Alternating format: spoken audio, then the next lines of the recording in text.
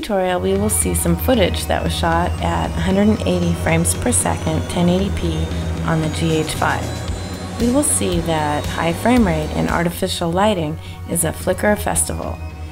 We will also see how deflicker by Revision Effects can help us to get rid of the flicker. Let's go ahead and see how this is done. First, we'll see the edit we'll be working with. We will take this edit and bring it into Premiere. Of course, it's always better if we have the original footage, but we can still do a good job. Deflicker has some extra features to help us get great results, even with an edit that has multiple cuts. We apply Deflicker high speed. The first shot is fine, so we don't have to do anything there. Next, we need to find the first frame of the next shot. We back up a frame and we set max change to 0%. We also set a mark segments key. The value is arbitrary, so we can use cut A, cut B, or cut C, as long as they're different than the previous segment value. This tells Deflicker internally that this is a new segment, so up to this point not to affect the footage. We advance a frame and we reset max change to 100% for now. Now we can set mark segments to another value that's different than the value we used on the previous segment. We do that at the first frame of each cut. This is so Deflicker does not try to use frames from another shot near the cut. Okay, we go somewhere within our first shot with flickering, somewhere that isn't at the shot boundary. Deflicker has two basic modes, one that does extra work to maintain the integrity of small details, but here it's not really our problem.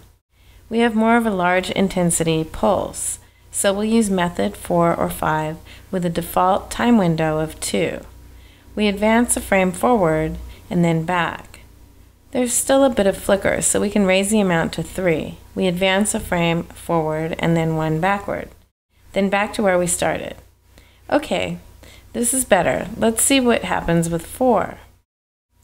We advance a frame forward, another frame before, and then go forward a few more frames. That's it. Of course, we don't want that value to be too high because each time it adds a lot to compute time, and at some point it might even make the image too soft. We go to the next shot and check a few frames with the same setup. Okay, that seems good. Let's try a render.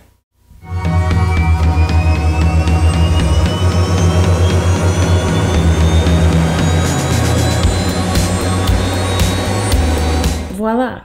Now, Let's say some shots don't have any flicker. Let me show you an alternative workflow. Once an effect is applied, you should be able to splice the clip and the effect will be copied properly. So another way to do this is to nest the sequence and apply the effect inside the nested sequence. This way the whole thing remains one clip on your whole timeline. Here's the process. We razor from first to last frame of that segment and lift that shot. Then we can just delete the effect. The last shot is interesting. It has the shadow of the helicopter blade passing every few frames. This could be challenging for some software. We can find a frame not near the beginning or end of that shot, and we can disable the effect to see before. Now we turn on the effect and we can see that our same settings seem to work here. We can check a few frames before and it looks like we're good, so we'll render.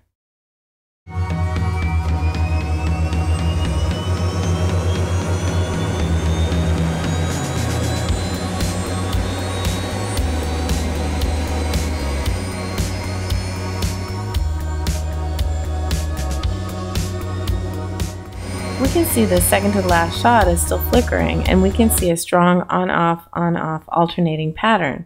So first pass we can apply alternate method and then as a second pass we can leave the default setting. Now we see the new result. So this is how we remove flicker on high frame rate footage with deflicker by Revision FX.